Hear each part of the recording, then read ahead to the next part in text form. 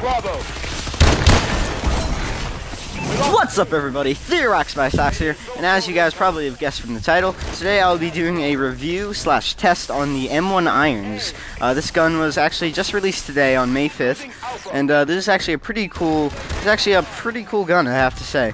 And uh, the first thing I'm going to talk about with this gun is how it is not under the pistol class in a secondary, uh, like it like um, most pistols usually are, because this is technically a pistol, even though it's a revolver. But uh, this is actually under the special class as, and as a primary, and I actually find that kind of interesting.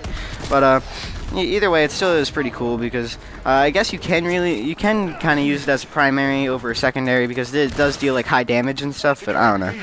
Uh, next thing I'm gonna talk about is uh, what's it called? That uh, the range. Now the range is actually pretty decent. Uh, I'd say you can you probably get people from short to medium range. This is not a long range weapon, uh, but you can definitely get people short from medium range. And uh, for the attachments, there's actually quite a bit of attachments on it.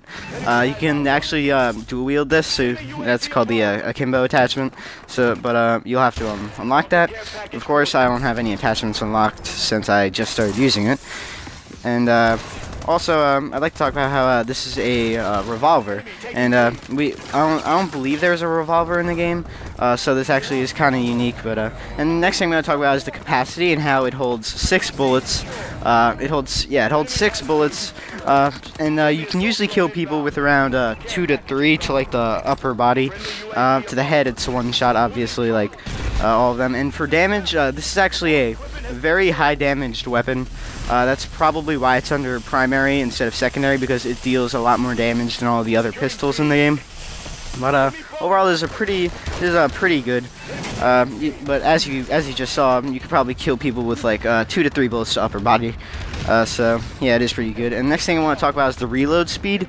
Uh, since there's only six bullets in a magazine, uh, unless you get the extra, or um, unless you get the uh, extended magazine, which actually I'm not, not I'm not positive uh, if you can get it. I didn't really look over the attachments, but uh, um, the reload speed for this is is decently quick. It's faster than like other revolvers, uh, like the um, Executioner in Black Ops 2, for example. It's much faster than as you can see here.